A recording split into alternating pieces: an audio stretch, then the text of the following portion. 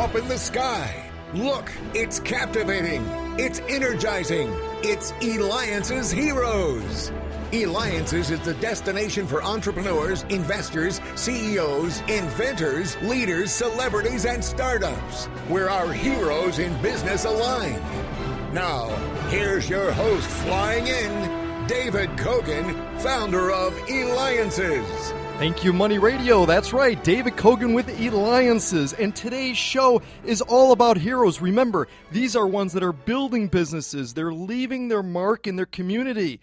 And the, today's lineup, you've got to hear this. All right, we have the star from the reality TV show Hardcore Pawn, Seth Gold. We also have the executive producer of the Jobs movie about Apple founder Steve Jobs. Later on, we're going to have the comedian who has performed on all late night shows and even for President Obama. And we'll be ending the show with the famous TV doctor on VH1's Family Therapy. But with that, we're going to get started. That's right, we're going to get started with Seth Gold. He is the star from reality TV show Hardcore Pawn. Now, you're the star of this reality show, which, when the first episode aired, it broke new records for viewership millions. The show is all about what happens in the pawn business. Share with us how did it feel when you saw the first episode air on TV? You know, David, I appreciate uh, you uh, speaking with me this afternoon, and thank you for having me on the show. And let's talk about that first day. It was back in 2009, and I would never imagine the amount of success we'd derive from that one single episode. Imagine you go into work, and you just have cameras follow you around, and all of a sudden, two plus million people see what you do on a daily basis. Nothing can really prepare yourself for that kind of event, and ultimately, six years later or seven years later, we're still uh, trucking along pretty successfully. So. Um, doing what we do and doing what we love to do is is something that we're proud of and ultimately really happy with the success obviously it's incredible and you could reach Seth Gold by going to sethgold.com that's S E T H G O L D Com. Now, we've also had the privilege of having your father on the air, who is also part of the show and one of the stars, who you work with in the family business. And we have many listeners who may have or considering bringing family into their business. How has the relationship changed now that you both work together? You're both famous, everybody knows you. Not to mention that most everything you do at work is captured on TV for the world to see. How's that developed? How's that evolved your relationship with your father? Well, I appreciate you saving the best for last, obviously. So I'll start off by saying that. Um, but imagine working with your family. It's not easy. It's not for everybody. I can just tell you that right up front. Because I, I say this a lot. Nobody has your back like family, but nobody knows how to get under your skin like family. So part of deciding to come in the family business me and my dad discussed it at length, and we work with my sister as well.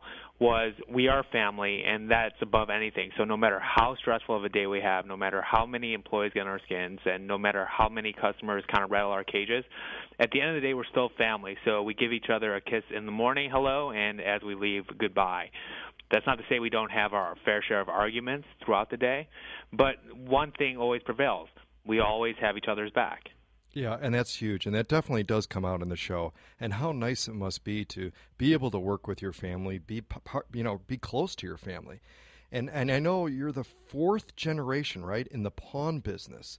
That means that this business is in your blood, right? I mean, it's in your blood. You've even been named pawnbroker of the year. I've heard that you are going to perhaps be expanding the business, mm-hmm. American Jewelry and Loan in Detroit. Share with us what that means exactly. Yeah, absolutely. So growing up, I got caught up in the negative perceptions of being a pawnbroker, and you know it, and I know it, and it was not seen as a highlighted industry. And I always had the ambition to be a doctor, and it wasn't until my senior year at University of Michigan that I decided that that wasn't for me.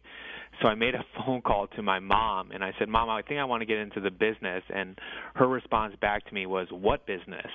Because I was never going to join the family operation. And lo and behold, I worked here. I, well, I graduated the University of Michigan. I worked here for a couple years, kind of staying quiet, learning the business, and kind of grew into it um, there's an inherent respect that you get as the boss's son, but that wears thin if you don't know what you're doing. So imagine coming in right out of college, full of piss and vinegar, and you know trying to take over the the industry or the wor- the the store with managers that have been here for 25 years. And so, unless I could prove to them that I was worthy of being having a seat at the table, it was going to be a long road. So I stayed quiet for a couple of years, and then my sister was working with us. She decided to leave to have start up a family, and then I kind of grew into it.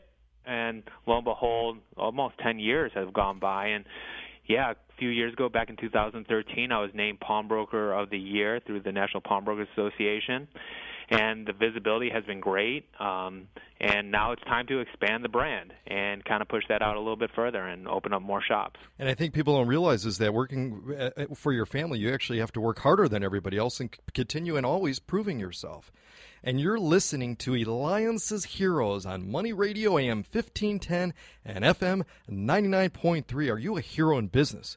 Go to eliances.com. That's E L I a-N-C-E-S.com, and we have Seth Gold, the star from the reality TV show Hardcore Pawn, and you can reach him at sethgold.com. Now, you must be getting a ton of fan mail. I got to ask you, what's one of maybe the most interesting pieces of fan mail that you received?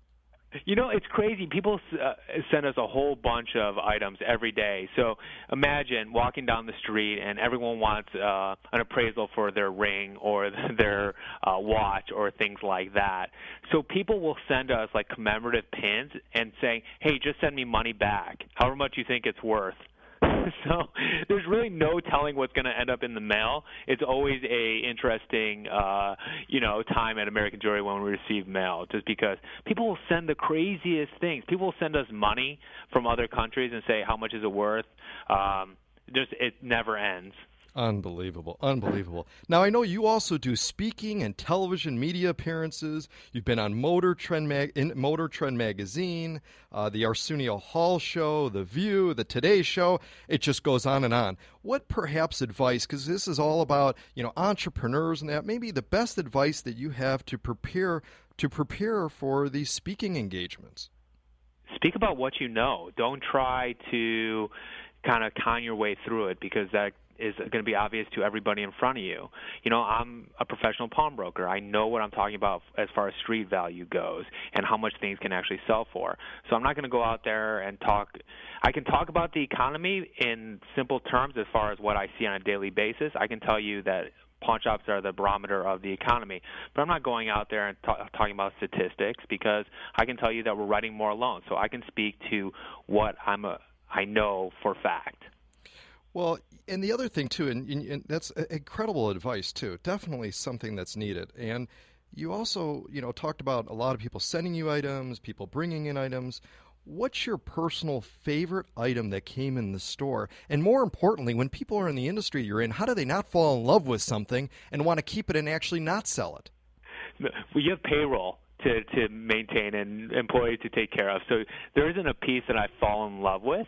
Um, there's some cool pieces that have passed through the office. So in particular, we've had some championship rings, and as I mentioned earlier, I went to University of Michigan, so I've had a couple Rose Bowl rings pass through the shop, uh, 2003 and 2004 Rose Bowl rings. I mean, those are in my collection, but if the customer comes in and for the right price, they'll definitely be for sale.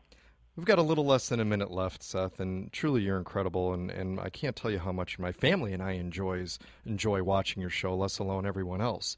And you talked about the pawn industry changing and perhaps a beginning of the negative perception, and now how things have really evolved. What type of legacy or words would you want to leave in your industry? What what what do you what would you want to say? You know, that's a great question. And ultimately, I couldn't be more proud of what we do and what we've done for the pawn industry. Um, before people used to hang their head when they heard about the pawn shop and I was one of those people that just kind of said my dad works in a loaning business to my friends just because I was kind of embarrassed. But now it's cool to go to the pawn shop and save money and I'm happy and really proud to be on the changing image of that and my legacy would uh, would be not really the TV show. The TV show is a great platform right. for me to go out there and right. you know express what I want to express. But the le- real legacy is getting to know who we are and ultimately the service that we provide for the community and the industry. Excellent. Well, anyone that could work with so many people from such a diverse background, backgrounds, helping them buy and get good deals or sell an item to make ends meet is certainly one of today's heroes, and Seth Gold is just that. When we return, we're going to have the executive producer of the Jobs movie about Apple founder Steve Jobs, Eliances.